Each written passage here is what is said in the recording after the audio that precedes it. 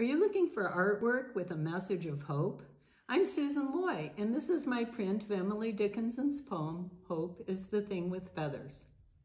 I chose the song sparrow to illustrate Dickinson's poem. The poetic little bird that kept so many warm is shown perched on a blueberry shrub and is surrounded by a border of song sparrow tracks. I hand lettered the complete poem, which was first published in 1891. All of this information about the artwork, as well as my biographical information, is included with each print in this insert. I used watercolors and these tiny pens and brushes to create the original artwork and lettering. Produced in the USA on acid-free paper, each print is signed and numbered. So you can receive them quickly and easily. We offer these prints through Amazon.com.